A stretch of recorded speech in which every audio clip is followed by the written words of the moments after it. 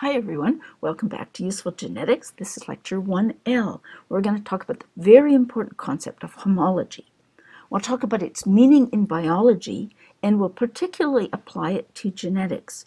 We'll talk about how to decide if similarities are due to homology or due to other factors, and we'll talk about the specific genetic case of homologous chromosomes.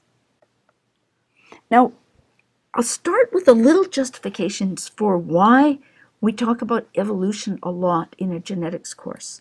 Um, the quote is from a noted geneticist, Theodosius Dobzhansky, nothing in biology makes sense except in the light of evolution. This is particularly true for genetics.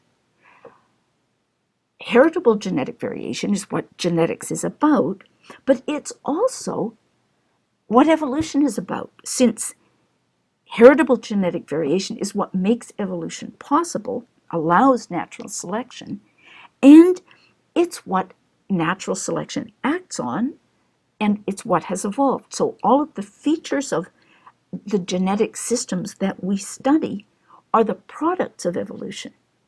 So we're very much embedded within an evolutionary world, as is all biology. Now, homology is often confused with similarity. And that's because homology is a special kind of similarity. Lots of things are similar. Things that are homologous are similar because of shared ancestry. So here are examples of the four limb bones of four different vertebrate species, starting with the human arm bone. And they've been colored to show up their similarities. So there's the upper arm bone is a big bone. Then the lower arm, our forearm, has two bones. Then there are the small bones of the wrist and the long bones of our fingers. And we see similar arrangements of bones in the forelimbs of all other vertebrates. And this is because the ancestor of all these vertebrates had a limb with this structure. This is called the tetrapod limb. So it's shared ancestry that has given us these similar features. Shared ancestry also applies to the genes that are responsible for the development of these features. For instance, here we're comparing the um, genes that control embryonic development in a fruit fly and in a mouse. And the genes are colored according to their function and positioned according to their arrangement on the chromosome. And we see that the genes are similarly colored for similar parts of the embryo, and they're arranged similarly on the chromosomes. They also, although you don't see that here, they have similar sequences. And we now know that genes like this control embryonic development in all animals, and that these genes are similar because they are descended from a common ancestor of all animals that controlled its development with these genes. We can extend the comparison farther to look at individual sequences. Here are the amino acid sequences of two genes. One gene is the eyeless gene of fruit flies. When this gene is defective, the fly doesn't have any eyes. The other is a gene that was studied completely independently in humans. It's responsible for a disease called aniridia, which is the hereditary absence of eyes once these genes were sequenced and compared, it was astonishing to see how similar these sequences are.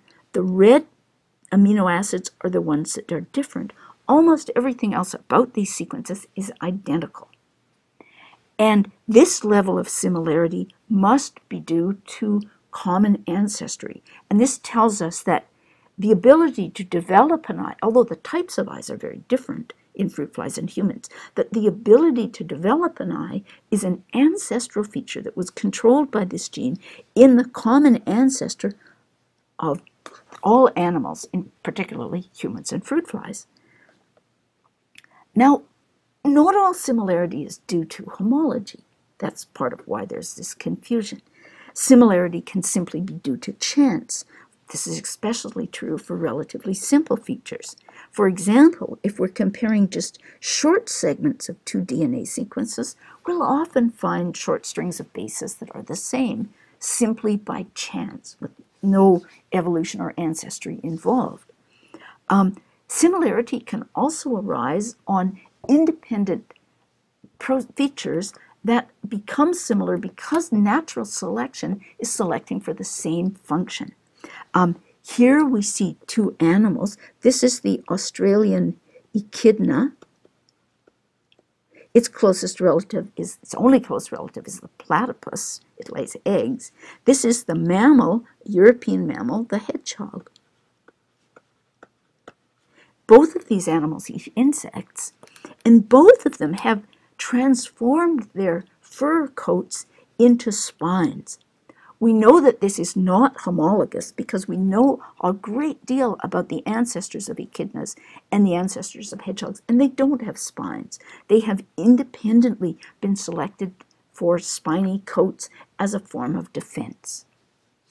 Finally, um, sim whoops, similarity can be due to common ancestry, the kind of homology that I described in the previous slide. Now, how do we decide whether similarity is really due to shared ancestry? The answer is it's not always obvious, but usually we have a lot of other information. Um, the general principles are if the similarities are so strong that they couldn't have arisen by chance, for instance, the similarity between the aniridia gene and the eyeless gene that I showed you, and they're too arbitrary to have arisen by convergent evolution, that is, the similarities extend to features that would not be acted on by natural selection.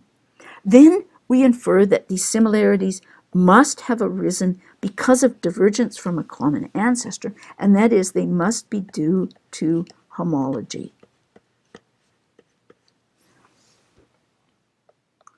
Now, once we've decided that features are homologous, we can use them to tell us more about evolutionary processes. And this is particularly true for DNA sequences. Once we've decided that DNA or protein sequences are homologous, there's a lot of other information in there that lets us make evolutionary inferences. The simplest of which is how, knowing how similar two homologous sequences are tells us how recent their common ancestor was. So here's homologous sequences from three different species. And we see that the first two species differ only at two positions, so we infer they had a very recent common ancestor. However, sequence 2 and sequence 3 are much more different. They're different there, there, there, there, there, there, there, there.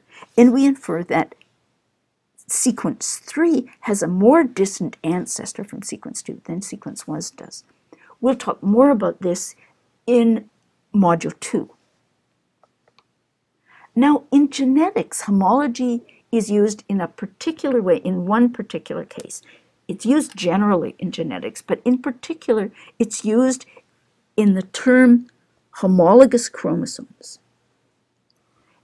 it's really the same meaning that homologous has everywhere else, similarly due to shared ancestry, but it particularly applies to the two versions that we have of each of our chromosomes.